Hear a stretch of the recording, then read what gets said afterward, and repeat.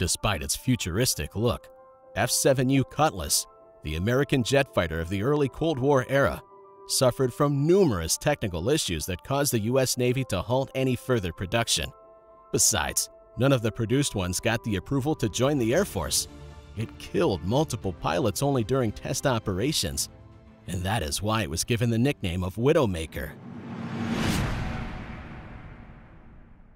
In 1945, Chance Vought entered the United States Navy competition for a new carrier-capable day fighter. Vought's submission for the competition was F-7U Cutlass. Although denied by Vaught, the main idea and the aerodynamics analyses were obtained from German Arado and Messerschmitt companies at the end of World War II.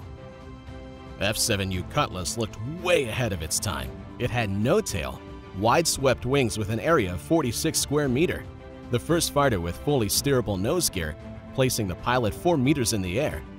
The futuristic Cutlass had the first hydraulic system at a high pressure, twice the pressure of the systems on other Navy jets, and all hydraulic flight controls with built-in artificial feel, which restored control surface feedback to the pilot. Despite all these features, F-7U Cutlass later proved to be a disaster in the air. The U.S. Navy gave the green light to Vought to produce and test three experimental airplanes of model XF-7U-1. The first test flight, conducted in September 1948, seemed promising. Although there were still a lot of other tests left to be done, the initial performance persuaded the U.S. Navy to place an order for 14 of F-7U-1. Due to the failure of the three XF-7U-1s over the course of two years, many modifications were made to the design.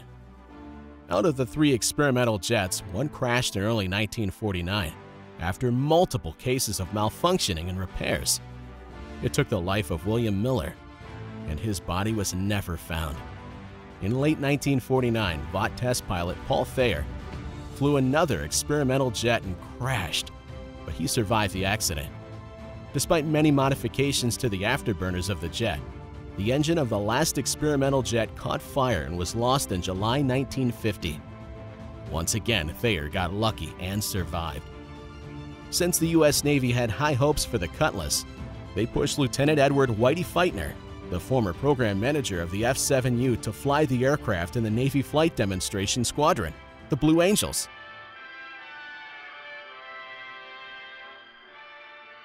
In the 1953 show, he hit the afterburner and went straight up. Back then, there was no other fighter capable of doing such a thing. Then he lost the hydraulics, but he could not eject since he needed an altitude of at least 457 meters. Before reaching the desired altitude, the Cutlass headed towards the ground. He eventually could control the jet and landed with one engine in flames.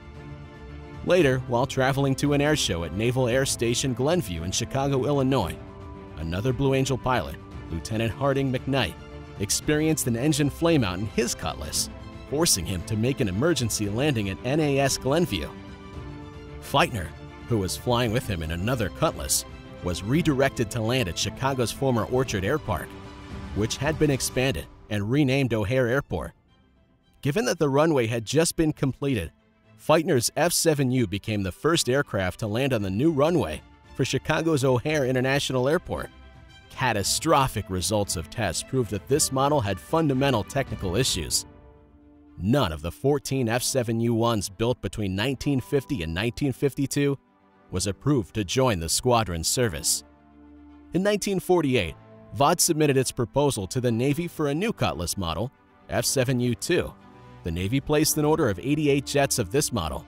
However, none of them were built since shortly after that, Vought introduced F-7U-3. This model offered more visibility to the pilot and had more powerful engines, a longer and stronger airframe, and better access panel for maintenance. In December 1951, F-7U-3 had its first test flight.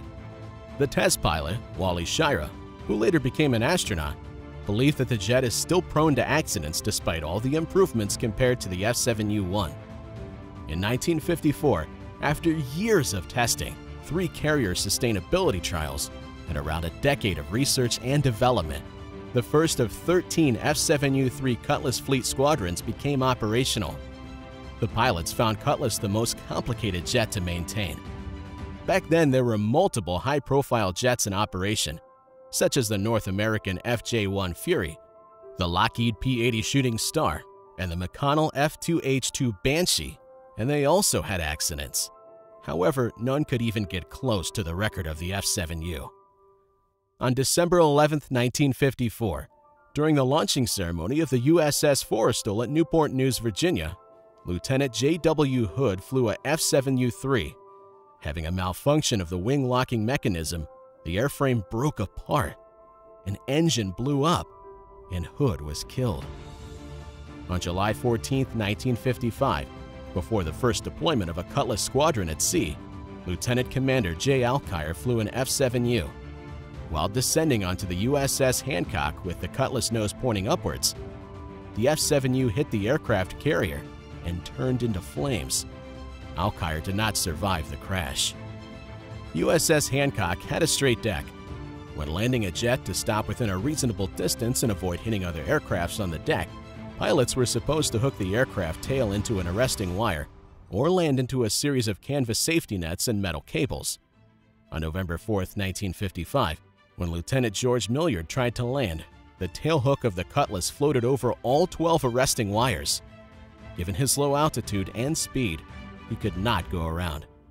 Milliard went into the barrier, where the nose gear failed. The strut drove up into the cockpit and into the base of the seat, triggering the ejection seat firing mechanism and knocking off the canopy. Milliard was flown 61 meters forward. He hit the tail of a Douglas A-1 Skyraider and later died of his injuries. After this accident, the captain ordered all F-7Us off his ship. The F-7U-3 inherited its main flaw from the F-7U-1, two lazy Westinghouse jet engines that were unable to provide enough thrust. Although Westinghouse promised much more powerful engines, they could not deliver the thrust they promise.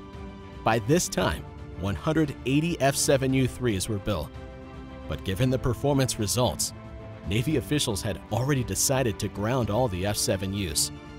Vought had already built 98 F-7U-3Ms, which was the first fighter jet capable of carrying Sparrow air-to-air missiles. Even this did not persuade the Navy officials to change their decision. Eventually, after 55,000 hours of flight, which resulted in 78 accidents, the infamous F-7U was retired with the record of highest accident rate of all swept-wing fighters. Although F-7Us were useless in the air, on the ground they were used for maintenance training. The F-7U also appeared in hobby shops.